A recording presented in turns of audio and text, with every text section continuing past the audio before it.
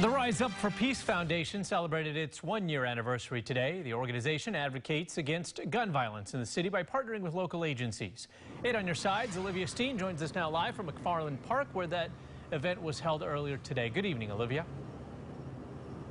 Good evening. That's right. They had performances, food, and just overall family fun to celebrate the work that Rise Up for Peace has done. And they also wanted to continue to push, push their message that gun violence needs to end.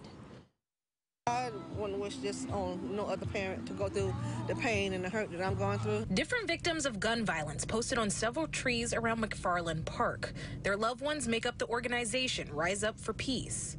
I started Rise Up for Peace um, last year when my son got killed, Devontae Brown. He got killed for senseless gun violence. Founder Patricia Brown tells me losing her son is an unimaginable pain. I deal with it every day, with the, the pain and the hurt I have my good days and I have my bad days, you know, but I keep pressing and keep pushing because I know this is what he want me to do.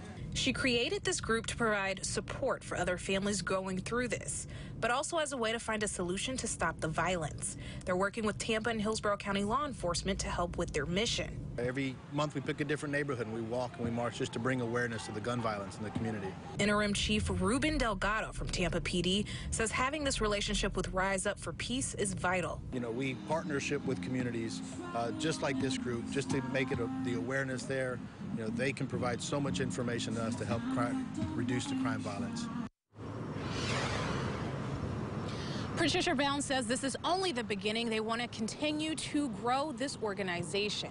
Live in Tampa, Olivia Steen, 8 on your side.